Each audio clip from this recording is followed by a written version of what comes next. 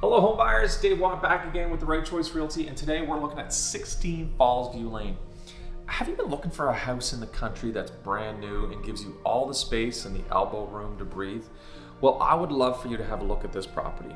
We're located just 15 minutes outside the city in Durham Bridge. This home is a side split with its own attached double car garage and then a detached workshop featuring 1,200 square feet, 12 foot doors, heated, insulated, you name it, this property is waiting for you.